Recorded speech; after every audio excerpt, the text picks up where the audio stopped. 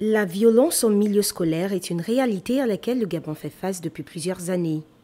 En 2024, le ministère de l'Éducation nationale a renforcé les mesures disciplinaires pour répondre à cette situation et les sanctions sont désormais plus sévères allant bien au-delà des simples avertissements. Lorsqu'un élève commet un acte de violence, il risque des sanctions immédiates.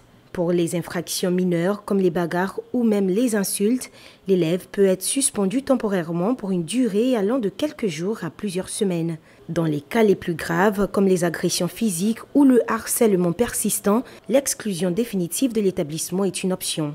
Cela signifie que l'élève ne pourra plus poursuivre sa scolarité dans l'école où l'infraction a eu lieu. Cependant, pour cette année scolaire 2024-2025, une nouvelle sanction particulièrement dissuasive sera introduite pour les cas de récidive ou des violences extrêmes. La suspension de la scolarité pour une période de plusieurs années.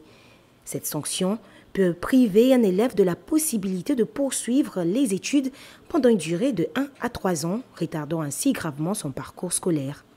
Dans les cas où la violence déborde des simples infractions disciplinaires, le recours à la justice est aussi envisagé.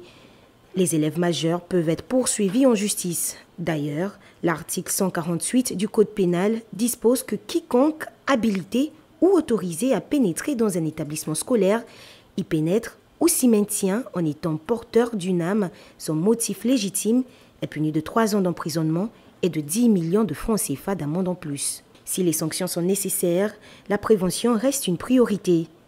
Cette année, les écoles gabonaises devront travailler de plus en plus avec les parents et les communautés locales pour instaurer un climat de dialogue. Des ateliers de médiation et des programmes d'éducation à la non-violence doivent être mis en place pour apprendre aux élèves à gérer les conflits de manière pacifique.